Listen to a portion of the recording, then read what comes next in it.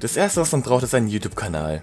Und den Willen, jeden Bereich seines Lebens an diesen Kanal zu verschwenden, wissend, dass du niemals erfolgreich oder beliebt mit diesem Scheiß wirst. Deine Freunde verschwinden, du verlierst deinen Job, bis du schließlich in einem tiefen Loch aus Klicks und Views gefangen bist. Ähm, ja. Also, du hast jetzt einen Kanal mit einem bescheuerten Namen wie Nerding. Was machst du jetzt? Du brauchst eine originelle Idee. Eine Idee, die die Welt verändern wird, die Krebs heilen wird und den Welthunger stillen wird. Du hast nicht so eine Idee? Kein Problem.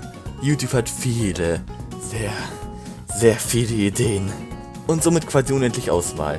Wenn die Leute sagen, ey, das ist voll geklaut, dann sagst du einfach, nein, nein, es heißt Formatjumper. Es ist somit was komplett Neues. Und alle sind glücklich. Jetzt, wo du eine Idee hast, brauchst du ein Skript.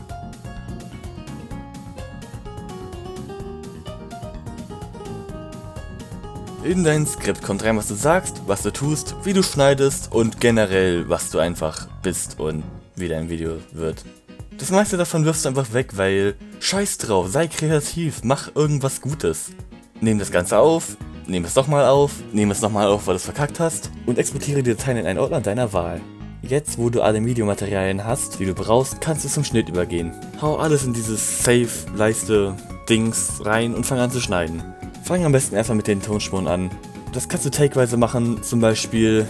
Papyrus griff nach Sensudi, zog ihn aus. Sens half ihm, indem er seine Shorts beginnt runterzuziehen. Doch Papyrus war... Oh, oh Gott, okay, das reicht. Jetzt baust du eine Basefarbe ein, in meinem Fall meistens weiß. Ich weiß, sehr kreativ.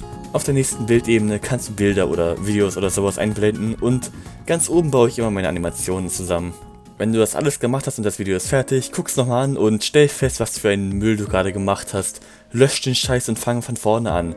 Vielleicht solltest du mal eine eigene Idee machen, du dummes Stück Sch